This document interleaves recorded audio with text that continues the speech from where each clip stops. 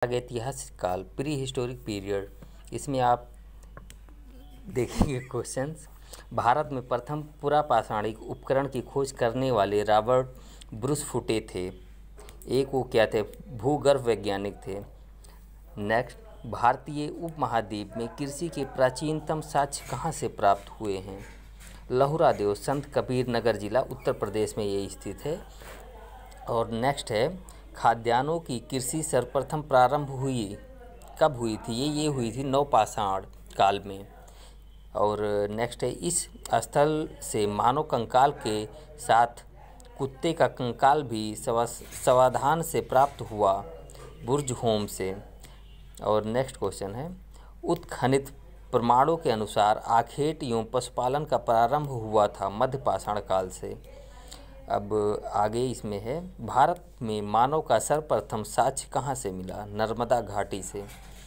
उस स्थल का नाम बताइए, जहाँ से प्राचीनतम अस्थाई जीवन प्रमाण मिले हैं। मेहरगढ़, लगभग 700 बीसी बीसी में।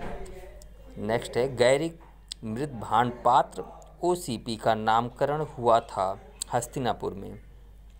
ताम, ताम्रम्भ काल में महाराष्ट्र के लोग मृतकों को घर के फर्श के नीचे किस तरह रख कर दफनाते थे, उत्तर से दक्षिण की ओर।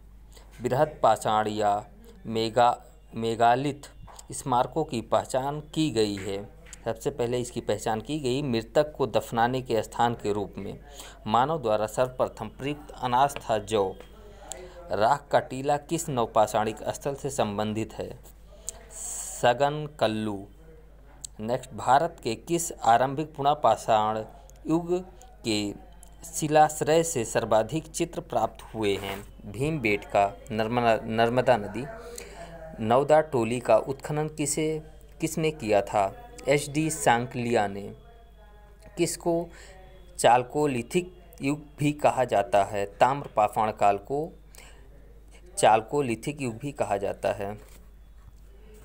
कुंभकारी का सर्वप्रथम प्रमाण किस युग से प्राप्त हुए हैं?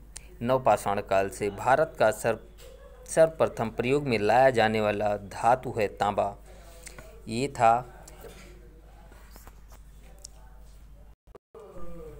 ये हमने आपको प्राचीन इतिहास का प्रागैतिहासिक काल का मैं एक्सप्लेन किया हूँ। अब अगले आने वाले पार्ट में हम सिंधु घाटी सभ्यता से रिलेटेड कुछ क्वेश्चन आपको हम प्रोवाइड करवाएँगे। अगर ये अच्छा लग रहा है तो आगे आने वाले वीडियो को ज़रूर देखिएगा आप लोग।